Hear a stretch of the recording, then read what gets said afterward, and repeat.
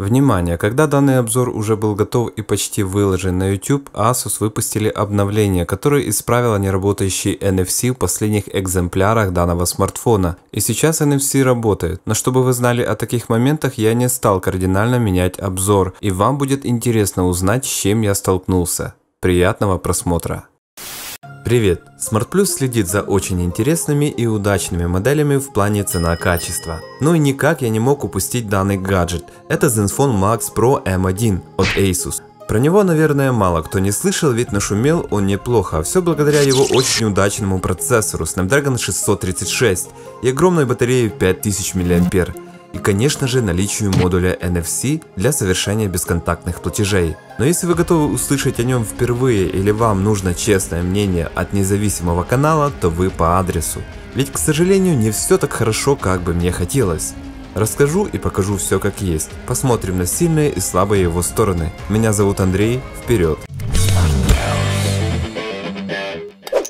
Один из самых популярных бюджетников этого года это Xiaomi Redmi Note 5. Именно он предлагает отличное соотношение цены и качества. Но тут вышел смартфон, который не то что готов составить, а прямо таки составляет конкуренцию данному гаджету. Давайте по порядку. Покупал я его у нас, в одном из украинских интернет-магазинов.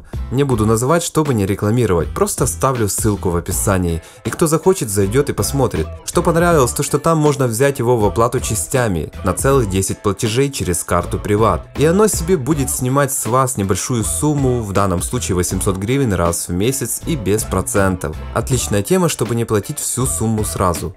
А стоит версия 464 гигабайт официальной с гарантией как раз 8000 гривен. В Украине доступна пока что версия 464 официально. В России можно купить 3.32 за 14 990 рублей и 4.64 за 16 990 рублей на данный момент.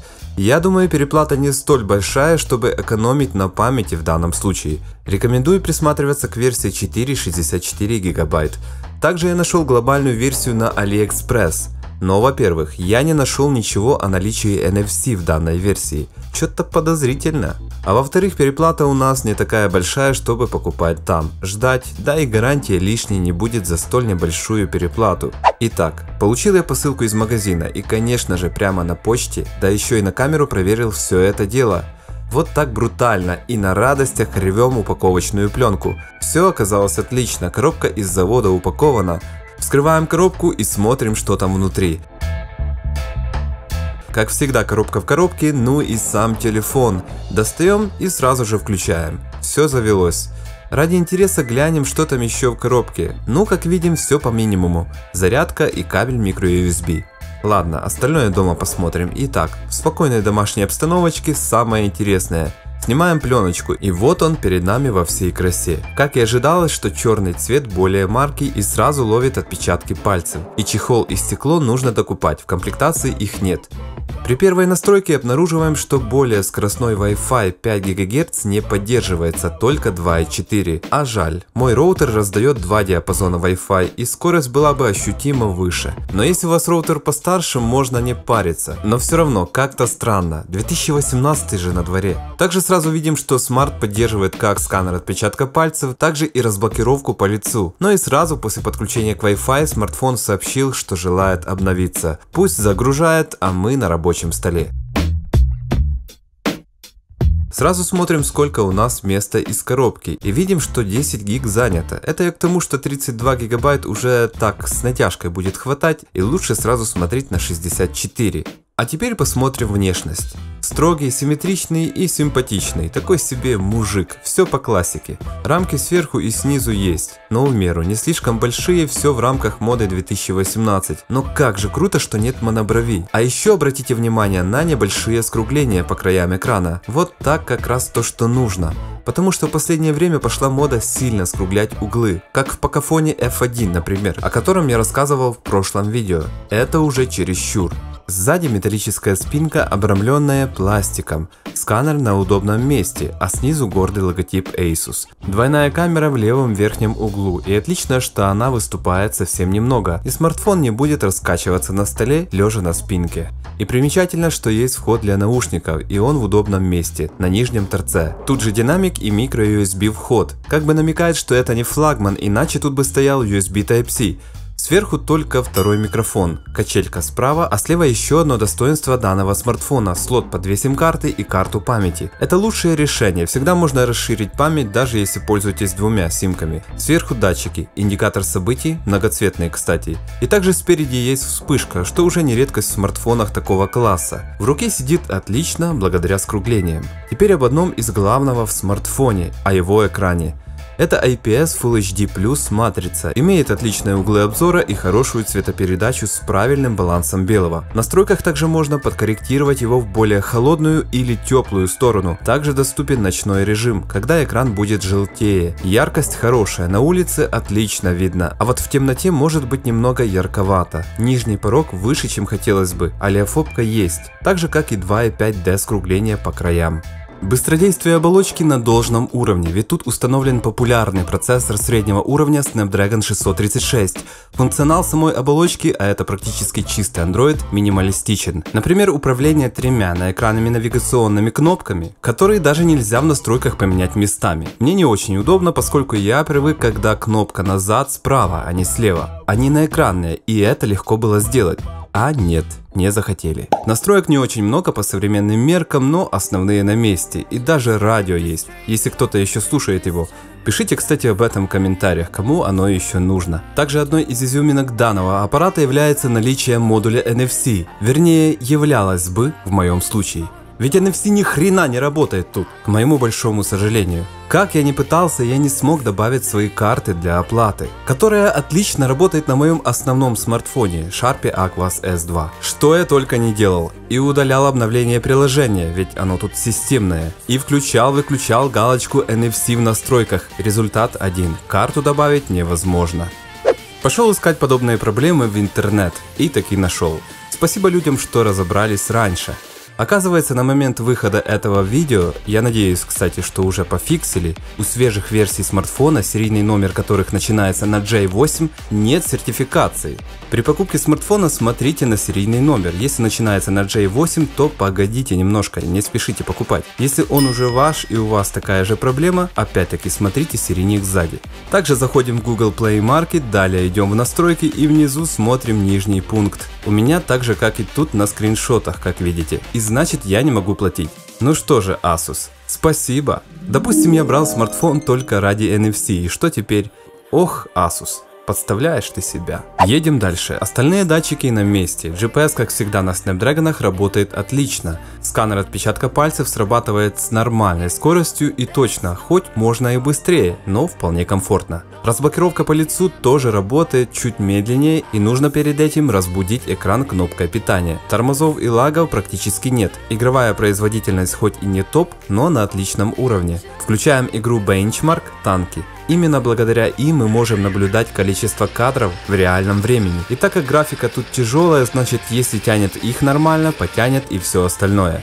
Выставляем высокие настройки без сглаживания и как видим можно играть. Но тут еще все зависит от карт и количества техники. На высоких просадки могут быть. Так что лучше среднее. Вполне можно назвать игровым данный смарт благодаря большому дисплею без всяких там вырезов в экране, без всяких там сильных скруглений, а также нормальной производительности и что немаловажно хорошей автономности. Давайте как раз поговорим о ней. Вот пока я тестировал смартфон, он лежал дома. То поиграю, то видео покручу, то почитаю, то YouTube просто поклацаю. Три дня и 8 часов, Карл, при трех часах активного экрана, а у него еще остается заряд. Толку от всей этой начинки, если батарея тут была бы на 2500 или 3000 мА, к примеру. Тут она на целых 5000. Жить ваш смартфон будет точно целый день под нагрузкой выше среднего или 2 дня с более-менее умеренной нагрузкой, выдавая 7-9 часов экрана. Полчаса YouTube садят смарт на 5%, полчаса игр на 7%, что неудивительно для этой батареи. А в режиме ожидания ведет себя тоже хорошо. Видео с YouTube будет воспроизводить на полной яркости почти 14 часов что очень хорошо, так что автономностью будете довольны. Теперь о камерах. Основная двойная камера 13 мегапикселей с апертурой f2.2, а для размытия заднего фона в портретном режиме предусмотрен 5 мегапиксельный модуль и фронталка на 8 мегапикселей. И скажем откровенно, камеры не самая сильная сторона данного девайса. Фото получается нормальными только при хорошем освещении, но только нормальными, далеко не идеальными. А как только освещение немного падает, фото становятся мыльными, частыми смазами.